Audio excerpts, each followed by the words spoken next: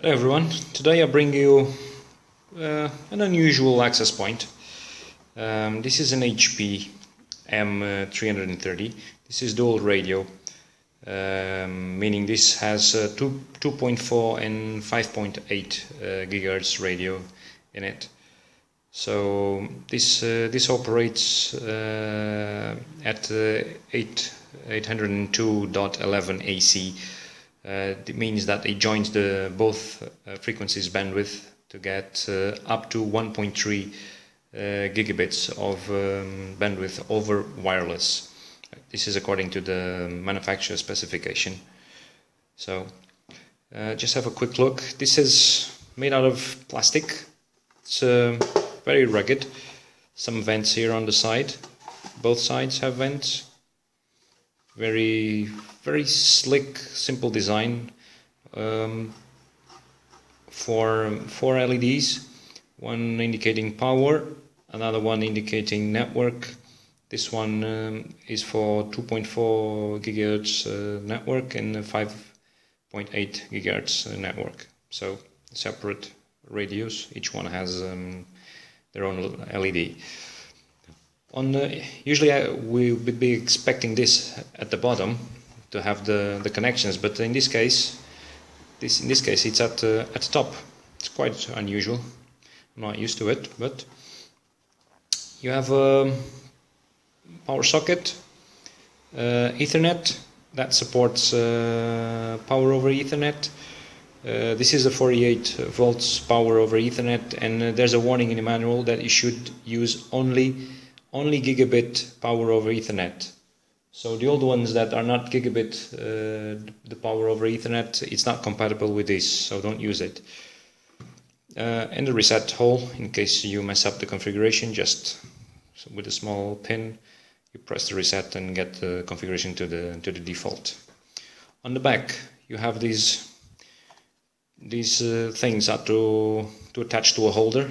There's actually a, a wall mount that you place on the wall and then and you place it there. You can also put it on um, on the ceiling. It can be like this or vertically. You choose the way you want to put it. And it's a very simple design, very slick. There's not much to it.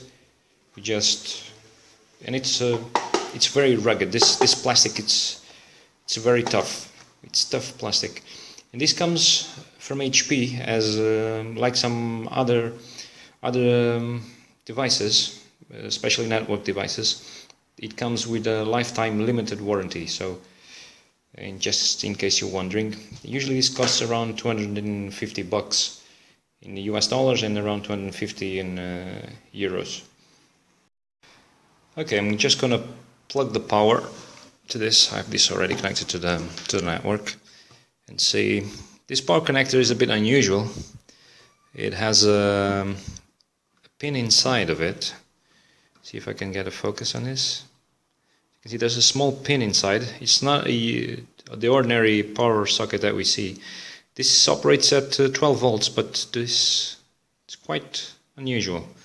So if you have, um, well, they have a lifetime warranty. If you have a problem, a problem with this, I hope they replace the the power supply too. Okay, let's see what it does when you plug it. So it turns immediately on because there's no there's no power buttons, there's nothing. We have network, there's activity. Uh, usually it looks for um, it's in the default mode is uh, DHCP client, so it's going to look for an IP address. If there's no server to give him the uh, an IP address, it will set itself to 192.168.1.1. Okay, after a while, um, since I didn't add any DHCP, I'm just going to show you here on top, I just inserted the IP 192.168.1.1, didn't enter, then it went to this uh, web page, it's the management web page. The password is admin, as long as the username, so it's admin, admin, just log in no I don't want to save it you have this uh, like uh, wizard like configuration now where you choose the country Uh, according to the country you choose, you're going to have access to the channels, so you don't break any laws in uh, in your country. So I presume you uh, choose the right country if you don't want to get in uh, any in any trouble. Like right here in Portugal. So just to save.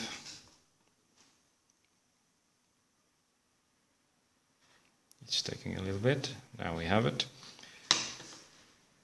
Now we have, once again, this is basic network. I'm just going to show you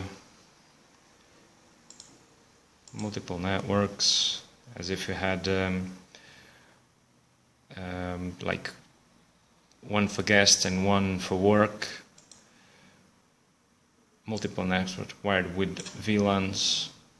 Okay, in case you had uh, a VLAN switch with a VLAN, you make that VLAN reach the access point, then one VLAN goes to a wireless network and another goes to, an, to the other one. This is with a radius authentication server and uh, had a wireless had a wireless network with existing AP cluster. So uh, if you had more of these access points, you can add another one uh, to this, and uh, this wizard will configure it um, to to have the configuration of the other ones. So it's like joining uh, joining a cluster of access points, or you can do it by hand, and that's a lot more fun. Okay, what we have here. Now we have quick setup, uh, just a small uh, display of the information we have. Channel 1 the way it's working it's also enable a NC wireless. We go to wireless. Let's see what we have here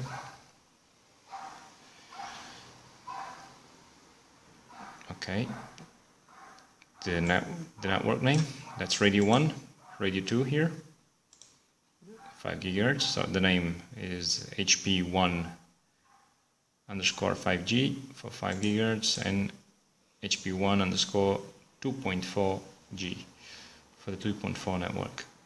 There's no security enabled, there's nothing to, so you can configure it using um, ordinary laptop with the wireless network, just connect to the SSID. MAC authentication, client connection, radio, usually that's my favorite part. I like to see what's going on with the radio configurations. Made for Portugal. Radio 1. This is the mode. BG, BGN, 2.4 AN. In this case, this was in BGN, I think. Channel. Here we can use up to 13 channels. You can't see it here in a video. 13 channels is allowed in Portugal and um, for radio 2 just going to show you where's channel here we have up to this channel as you can see there's a there's a gap here there's quite a big gap from there's a big jump from uh, channel 64 to channel 100 this is according to the ETSI regulation in Portugal. For Portugal so only those are allowed. DFS support on, multi-domain regulatory domain enabled, short guard interval supported. Some of these I'm not used to their names, they probably mean something I already know. Beacon interval, uh, these ones I know, DTIM, fragmentation, transmit power. This is in 100%.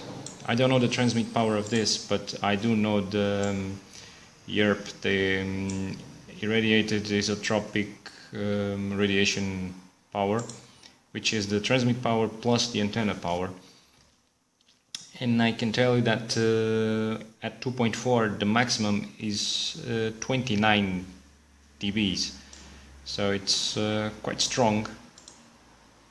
It's quite strong when you include the antennas. Load balancing, WDS, WDS link if you have any WDS um, enabled. Rogue AP detection, loads of IP here, the addresses, network. So this would be yeah manual IP configuration, IPv6. There's IPv6 here, cluster.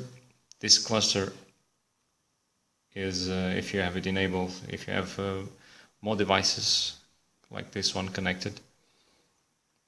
I believe this cluster is usually in ordinary um, wireless language, let's say, it's called the mesh mesh network. I believe this is a mesh network, except HP calls it cluster. Client, client connections, channel planning. Yeah, captive portal. This has a built-in captive portal um, option. So every time a client connects, you can um, redirect it to a, it will be redirected to a web page where you have information about uh, your company or whatever you want to, to have it available for the for the wireless clients. There's a small group here if you want to create um, authentication. Let's go to management. This is the management tool HTTPS server SSH, Telnet, schedule, schedule association, uh, this I'm not schedule. I know what a schedule is. Schedule association. Uh, you can read. Uh, you can create profiles. Okay. You can create a, a, schedule to disable radios at a certain time. I understand what it wants now. System time. Just choose your um, your location because of the time. Status. Status is status in this case wireless. Let's see the ports.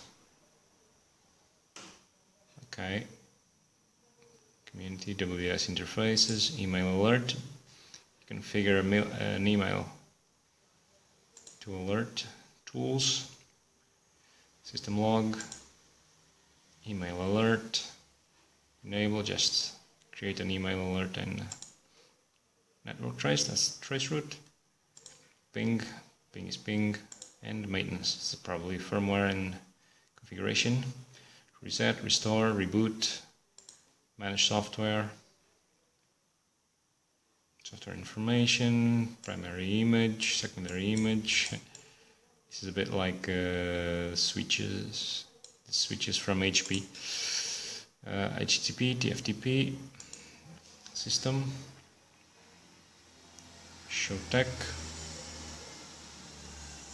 Save system and download system for troubleshoot purpose. Okay, it's just to help you out and uh, license EULA. Yeah. And user license agreement.